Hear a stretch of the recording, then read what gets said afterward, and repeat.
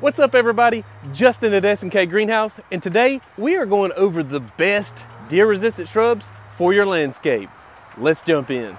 For those of you who don't know me, my name is Justin and I've had the privilege of managing this beautiful garden center S&K Greenhouse for the last 12 years and through that process I have been able to find some really good deer resistant shrubs. Now some shrubs are going to be a lot more deer resistant than others like the barberry.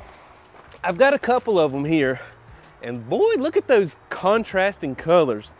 This is Barberry Admiration. This has become my top barberry, my favorite one. Look at the variegated red and gold leaves.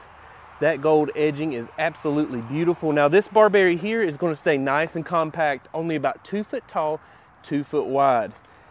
And then the Limoncello barberry, beautiful. Now what I like about this one is it leaves out gold, but in the fall it starts turning orange.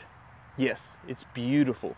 It's gonna get about three foot tall, three foot wide. And if you don't know about barberries, you're missing out. This is probably not just the most deer resistant shrub I'm gonna talk about, drought tolerant, heat tolerant, and great in full sun. Now, if you want something with a little more height, we can talk about two more barberries. We've got Orange Rocket and we've got Golden Rocket. Now these have very similar growth habits. As you can see, they're growing pretty columnar. They're going to get about two foot wide, four to five foot tall. So these are great for corner plantings or and if you need like a backdrop or a shrub that gets a little height on it, these are great. And again, oh, let me tell you about Orange Rocket.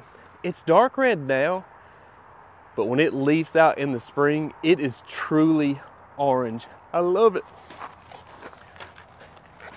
Now, some other deer resistant shrubs, you know, I always talk about arborvitaes. Now, I'm not going to mention those in this video very much. They have relatively good deer resistance, but the problem is in the wintertime, you know, especially when deer are rutting, if there's nothing else around, they will eat these. So they're not making this video, but you know what is making this video? Nandinas. We've got Obsession. We've got Flirt. Hey! We've got Lemon Lime. And we've got Blush. All right, here's the, here's the thing about them. Obsession, three to four foot tall, Love this feathery texture. Look at that. Now the red is going to be more pronounced as the weather is cooling off, which it is, which is probably why I feel this good right now. We have Flirt Nandina. This is the most compact Nandina on the market. It's only going to get about two foot tall, two foot wide. All these are evergreen. Let's move on down to the Lemon Lime Nandina. Now this one's a little different than your typical Nandina because it stays a nice lime color. Uh, the new growth is a bright chartreuse green with the older growth being dark green. Beautiful. This one's going to get about three to four foot tall and wide. Looks really good with dark color shrubs like the loropetalum I'm going to talk about in a minute. And then we've got the blush pink Nandina. Now this one replaced the old school one known as Firepower because this one does not get leggy. It's also compact. We'll stay around two and a half, maybe three feet tall and wide. Now, Blush has the broad leaves. Check them out. Not the feathery leaves, the broad leaves. It turns red in the wintertime. Yes, when everything else is looking dull and blah, this is gonna be a beautiful red color, evergreen. How could you not want this in your landscape? And the deer will not be munching on this.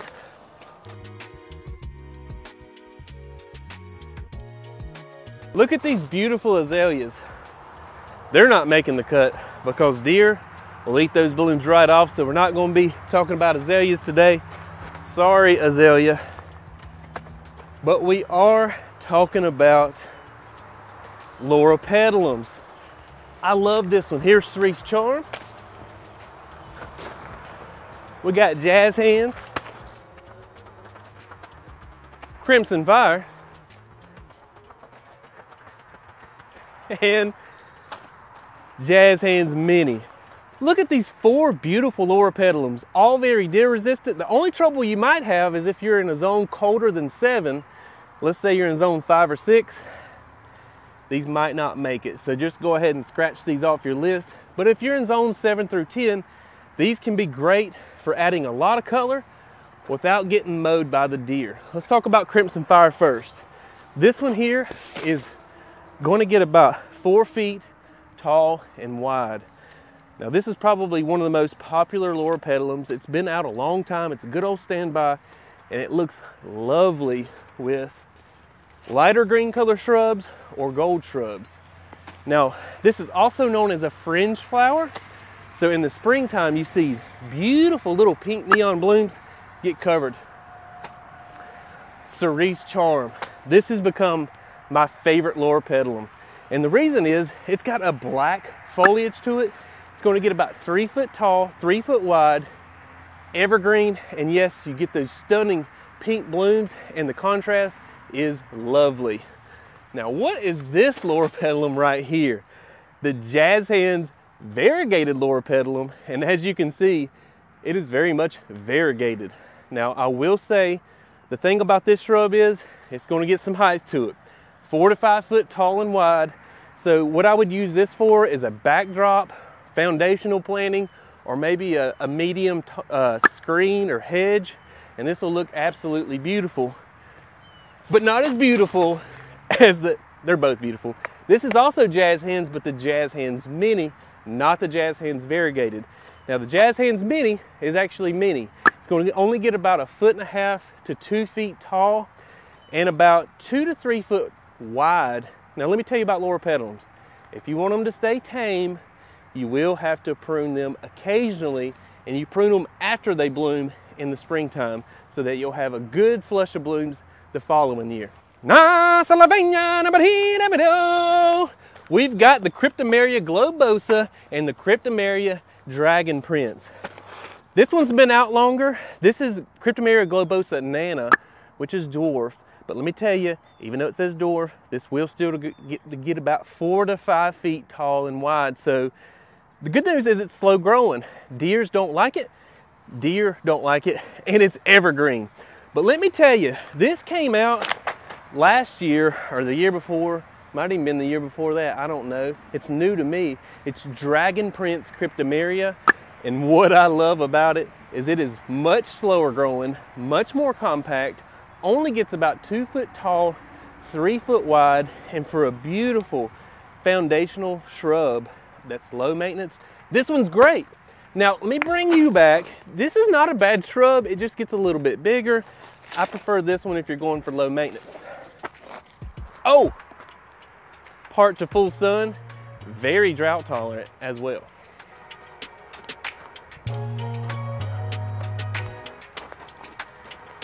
Abelias are on the list too. Now this one's Abelia Radiance, one of my favorite ones.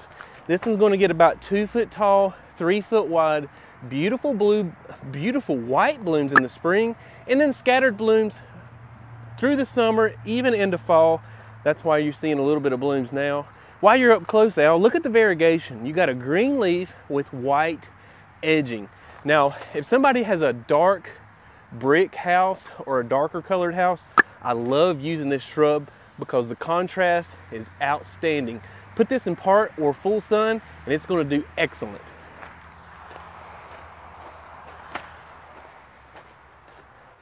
Moving on down to the candy corn spirea. And if you don't have candy corn, you can look at First Flame. You can look at all the double play candy corn series they're pretty deer resistant even when they bloom. And this one's got a beautiful purple bloom in the summer. We sheared these back to get this beautiful fall color. So it's not gonna be blooming right now when it typically would be. But the new growth is cherry red and then it turns into this pineapple new growth followed by some more red leaves on the very top. This is super colorful and super compact. Gets about two foot tall, three feet wide, very drought tolerant, good in containers, and will thrive in part to full sun. Now we have the gold mop cypress and the king's gold cypress. This is not the same shrub. The difference is Gold Mop's gonna get about four to five to six feet tall. King's Gold is gonna stay about two to three foot tall. So we got the dwarf version of essentially this. Now they're both evergreen. I love the needle-like texture. Isn't this just absolutely gorgeous? It's a texture that the deer do not like. It's a little rubbery for them, I think. So King's Gold, King's Gold, part to full sun, drought tolerant, great heat tolerance, very low maintenance. So if you want to put it with something like this Cerise Charm Loropetalum, that is a deer resistant combination. If you want a little more height, you could put this one with a darker lower Loropetalum, and that is going to be absolutely incredibly stunning. So what I've talked so far about is mostly part to full sun shrubs. Now I'm going to give you a series of shade shrubs. So hang on right there. This is Mountain Fire Pieris. I love it because it has beautiful bright red new growth in the spring, but in the wintertime, look, it's already setting up these buds. This is gonna turn into white plumes about late January. This is good in a lot of different zones. It's gonna get about three to four feet tall and about three feet wide. So a little taller than wide, evergreen, and it does love shade or part sun. now we have Illiciums, or another name is anise. These are evergreen shrubs for shade that will really brighten up a dark corner. Beautiful bright banana yellow foliage on both of them. Now the difference is you're looking at them and you're like, I think it's the same shrub. Nope. Banana peel is a little more dwarf, about a three by three. This one's going to get about five feet tall, four feet wide. But the deer seem to shy away because it has a nice little licorice scent. And anytime deer gets confused with the fragrance, they can't detect their enemies and they just tend to stay away.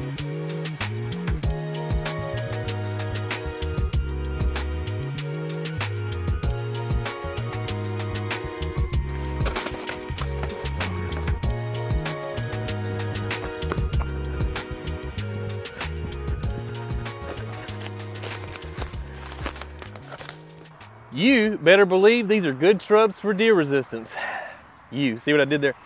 This is the Yew fastigiata. This uh, fastigiata is just more upright, columnar. It's the Latin, trying to get fancy here. But this is a great corner planting shrub. It gets about four to five feet tall, only a couple feet wide, and it's very slow growing.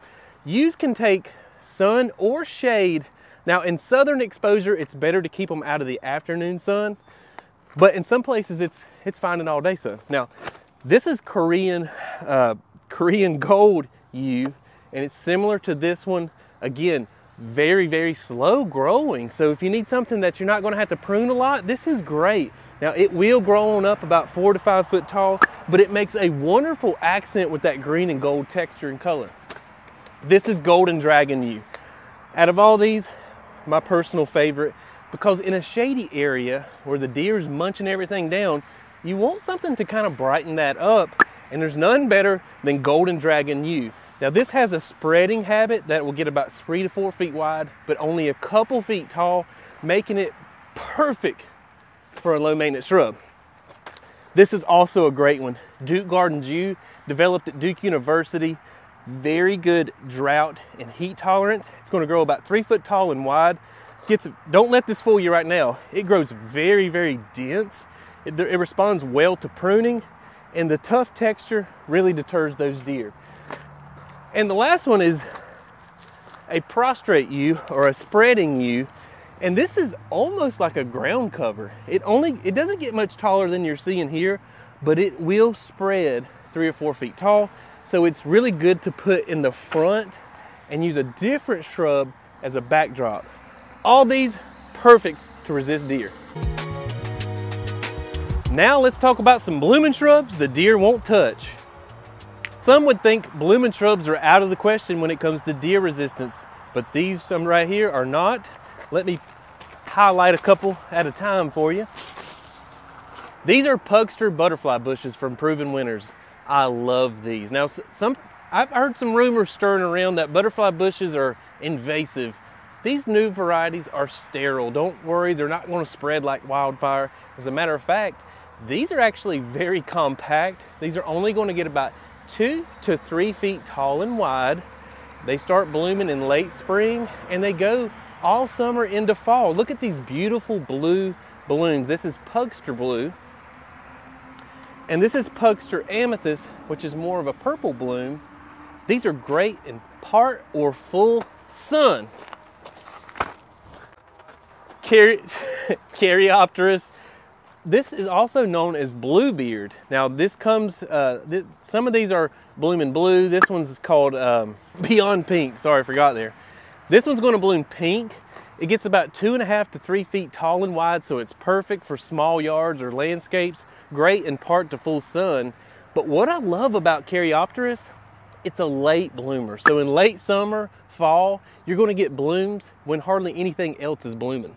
Here we have the Bloomerang lilac bush, and this one's great for the south because it can take a lot of heat and humidity. It's not blooming now because they bloom in the spring, and it's not spring right now, it's September.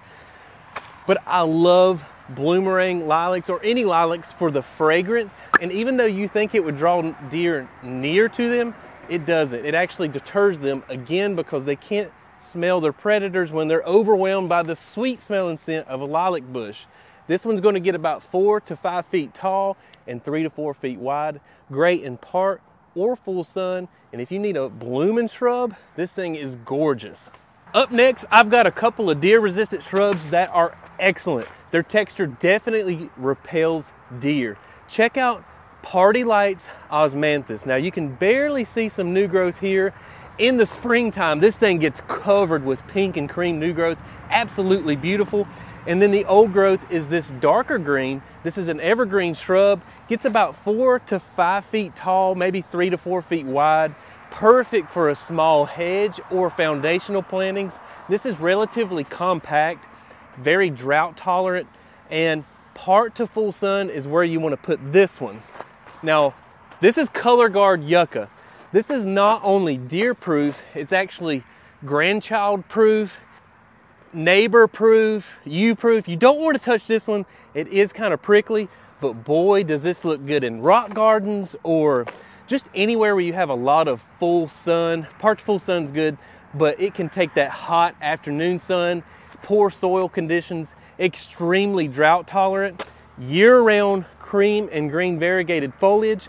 This one's going to get about three foot tall, three foot wide. And if you just want to throw in a different texture to kind of break up the monotony, this is a great shrub. Boxwoods are very deer resistant and very versatile. This is the Sprinter boxwood.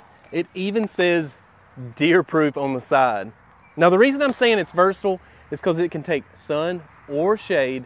It's perfect for small to medium hedges, border plants, foundational plantings. This one's going to get about two to three foot tall and three foot wide and it has beautiful soft texture. Weigelas are pretty deer resistant also. This one is Sonic Bloom Red. There's also a pink version of this, but they're great as a backdrop in your landscape. This one's gonna get about five foot tall, and in the spring, you have the most beautiful red blooms. It absolutely gets covered. And if you want to attract hummingbirds to your garden, this one is a must. Put it in part to full sun, and it's gonna do great. Let's talk about a few grasses that are highly deer resistant.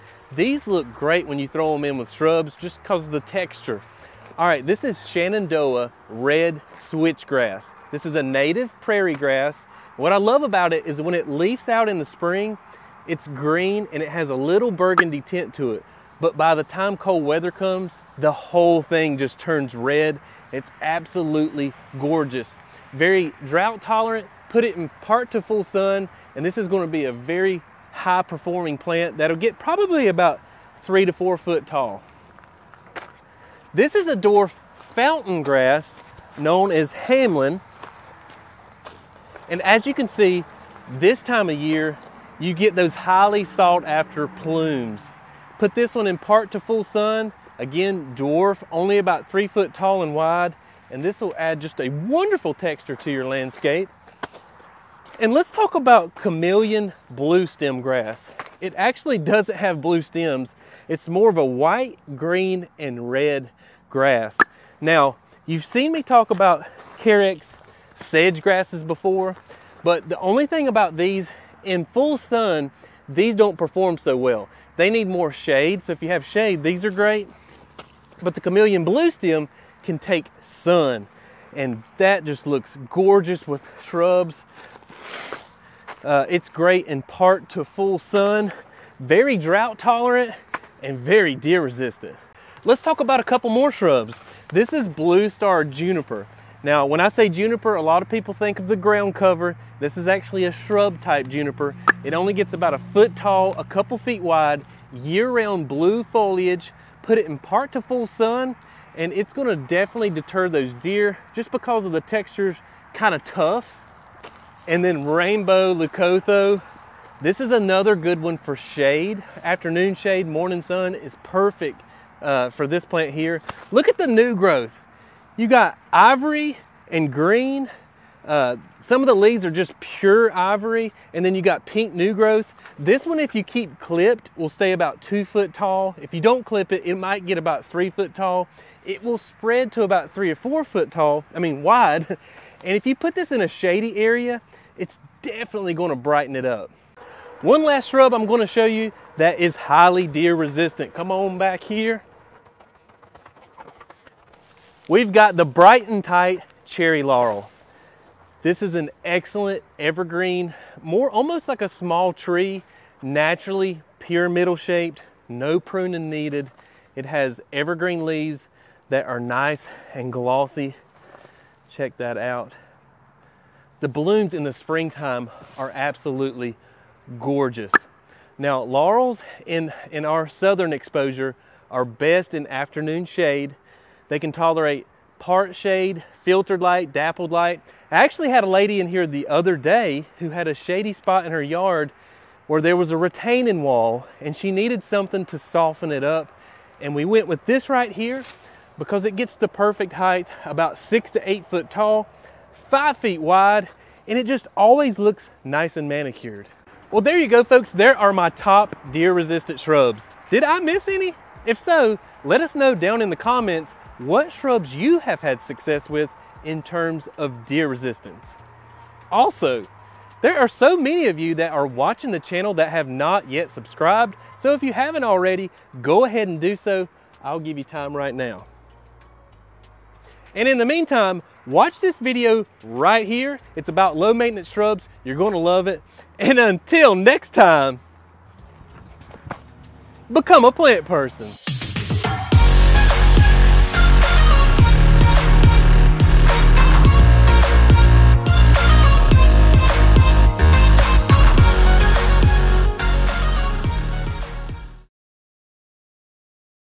What's up everybody? Justin at SK Greenhouse and today we're talking about 10 deer resistant shrubs and next actually 30 so let's jump right in. Over here we got the Cryptomeria Japanese cedar. Mr. Taste the Godlow's banana. Look at Golden Dragon Yew.